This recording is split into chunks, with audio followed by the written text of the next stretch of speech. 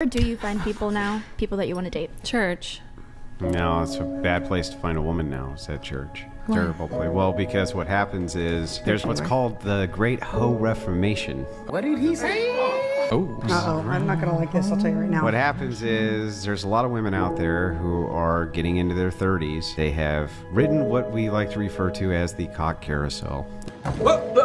And they did it for a long time. It's true. They couldn't find a guy, and so in their 30s now, they're kind of screwed. And so Kinda what they do is they reform and find Jesus.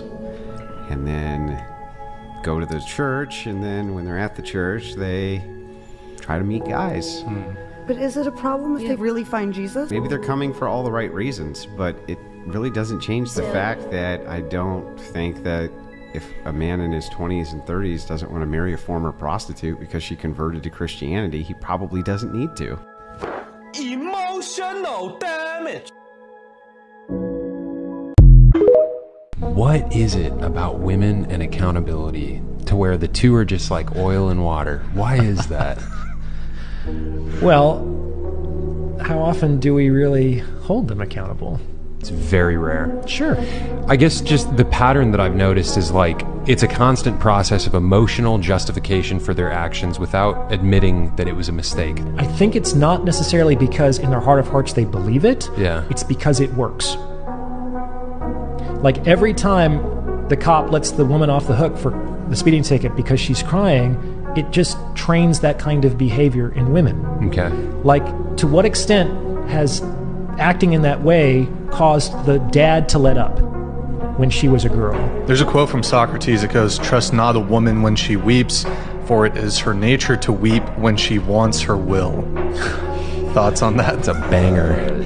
Sorry, What Madison. Works. I agree. Okay, people, check this out. What we have here is the female cycle of chaos. On this cycle, you have quite a few things, so I'm gonna break it all down. Best case scenario, you meet this girl and she's normal. Now, when women are normal, they want to feel all the positive emotions. They want to they want to feel joy, happiness, everything that can be considered positive they want to feel. Over time, they are going to get bored with feeling positive emotions. Then they're going to want to feel negative emotions, right? That's anger, that's pain, that's betrayal, all of it.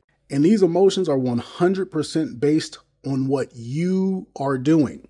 If you are giving her this, if you're doing that, if you're saying this, if you're saying that, she's going to consider that positive emotion and she loves that.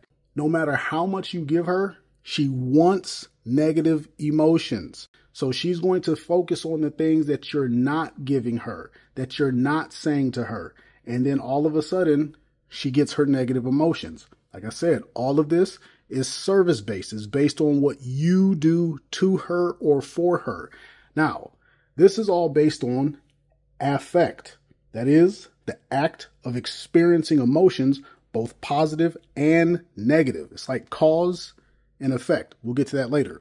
So this is like a candy shop. You go to the candy shop, you would think to yourself, nobody wants the candy corn, nobody wants the butterscotch, nobody wants the black licorice. That's not the case. With women, they want it all.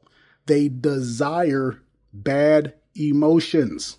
I understand. Doesn't make sense.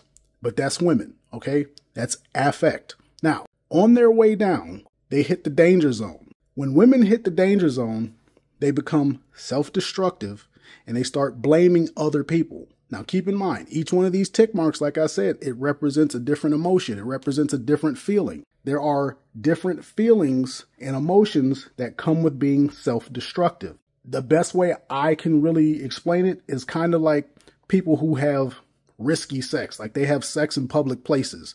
It's like the thrill of getting caught, right? Almost like a criminal type deal. They they like being self-destructive. They know they're being self-destructive.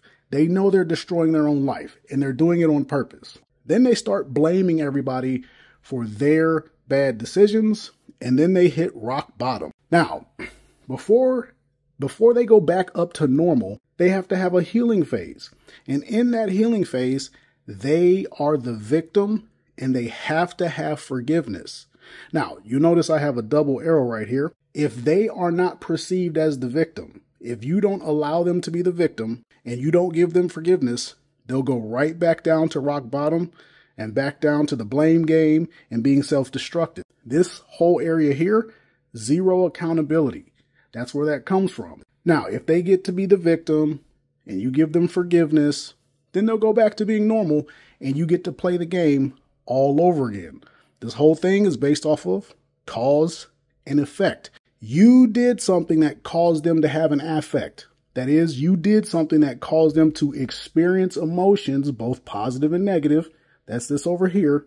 And the effect is that they get to have zero accountability for how they act. Most of their actions are going to be self destructive, right? They're going to be the victim, even though they're the ones doing all the wrong and they're going to have to get forgiven. This is why we call this the danger zone because once they get here, no accountability. Now, all of this is based off of your girlfriend or wife's or daughter is based off that that 30 day cycle of her having her period. If your girlfriend, if your wife, if your daughter, whoever, if that person is on birth control, this entire cycle can be something that happens twice a month, three times a month.